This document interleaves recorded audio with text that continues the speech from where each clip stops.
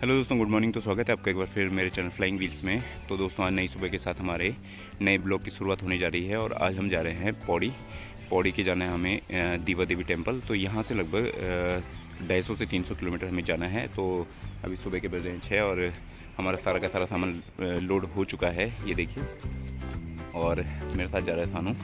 तो ये देखिए, अभी सारी जगह लाइट वाइट जली हुई हैं। अभी मतलब पूरी तरह से उजाला भी नहीं हुआ है और दिखाते हैं, अभी आपको ऋषिकेश के रास्ते जाएँगे तो वहाँ के प्यारे प्यारे व्यू दिखाते हैं। तो आज की जर्नी थी हमारी देहरादून से दीवा देवी तक की, जहाँ जाने के लिए हमने सुबह के सात बजे अपनी राइड स्टार्ट की। और ये ट्रिप प्लान की थी हमारे बाकी साथियों ने, जिन्होंने हमें मिलना था जेरी खाल से। तो यहाँ से जेरी खाल की दूरी लगभग डेढ़ सौ किलोमीटर हमें और चलनी थी।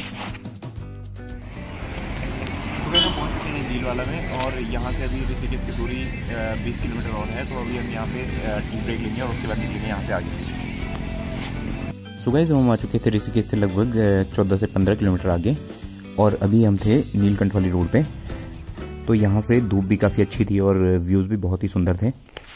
तो दोस्तों हम पहुँच चुके हैं ऋषिकेश से लगभग नब्बे किलोमीटर आगे। और यहाँ से अभी हमें जाना है जैरी खाल के लिए लगभग साठ से पैंसठ किलोमीटर और तो यहाँ से पीछे का व्यू मैं आपको दिखाता हूँ। जो कि बहुत ही खूबसूरत है।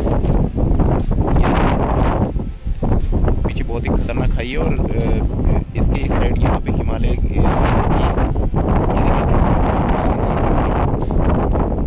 और, दूसरी साइड ये देखिए।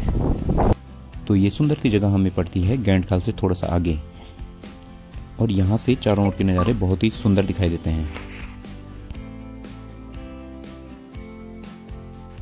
सो ऑलमोस्ट हम पहुँच चुके हैं गुमखाल और यहाँ से अभी हमें जाना है जैरीखाल जहाँ से कि बिल्लू और आशीष आएँगे और उसके बाद आगे की राइड हम स्टार्ट करेंगे कुछ ही देर में। तो दोस्तों, लगभग आधे घंटे वेट करने के बाद फाइनली आशीष जी पहुँच चुके हैं और बिल्लू चल, जा चुका है आगे।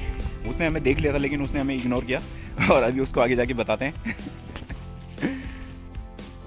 तो गुमखाल में लगभग तीस मिनट का रेस्ट लेने के बाद हमने फिर से शुरू किया अपने आगे का रास्ता और अब हम पहुँच चुके थे चौंदकोट की इन सुंदर सी वादियों में। और यहाँ से अभी दीवा देवी की दूरी मात्र तीस से पैंतीस किलोमीटर और बची हुई थी। तो दोस्तों गुमखाल और सतपुली क्रॉस करने के बाद हम एंटर हो चुके हैं चौंदकोट के एरिया में और यहाँ से लगभग चार से पाँच किलोमीटर आगे हमें मिलेगा एकेश्वर मार्केट। जहाँ से कि हम अपना सामान वामान लेंगे और उसके बाद आगे की आगे का सफ़र तय करेंगे। तो देखिए यहाँ से पीछे के व्यूज़ और पहाड़ियाँ देखिए कितनी सुंदर दिखाई दे रही हैं और यहाँ पे ये लोग फ़ोटो शूट करने लगे मेरे साथ वाले तो मैं दिखाता हूँ देखिए गुरु जी का यूनिवर्सल पोज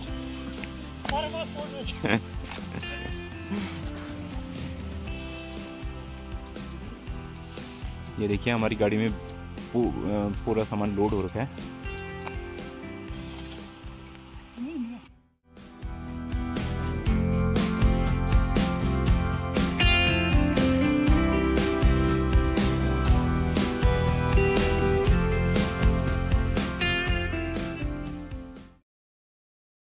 सो गाइज़ हम फाइनली पहुँच चुके हैं एकेश्वर मार्केट में और यहाँ से हमें थोड़ा सा राशन वगैरह लेना है।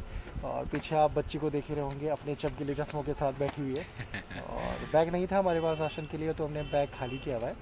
और अब लेंगे थोड़ा सा राशन और फिर बढ़ेंगे आगे के लिए।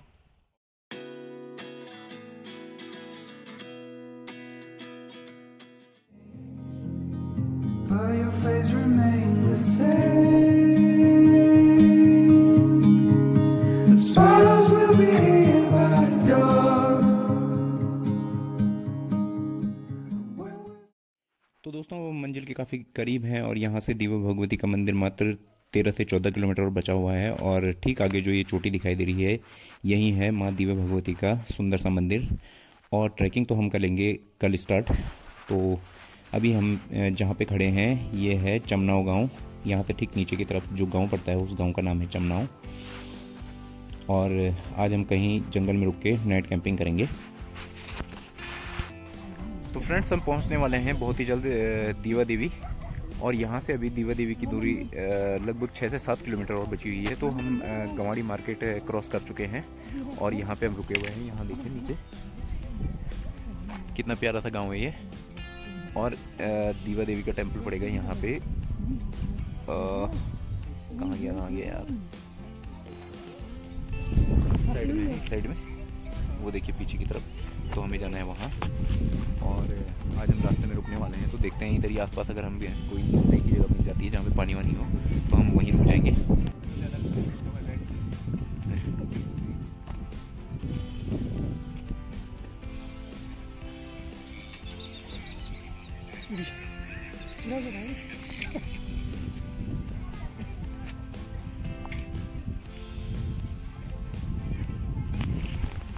तो दोस्तों ये देखिए ये गाँव कितना सुंदर लग रहा है और प्राकृतिक संपदाओं से परिपूर्ण ये गाँव। देखिए गाइस कितना खतरनाक लग रहा है। ठीक नीचे यहाँ है नदी। सो गाइस फाइनली हम पहुँच चुके हैं जलपाड़ी जहाँ पे कि हम अपनी बाइक पार्क करेंगे और उसके बाद यहाँ से निकलेंगे ऊपर और कोई अच्छी सी जगह देख के यहीं आज नाइट कैंपिंग करेंगे जो कि घने जंगल में होने वाली है।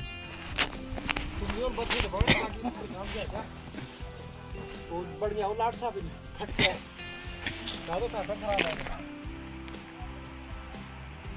चलो यार हो गया। कह रहा तुम सारा खाली।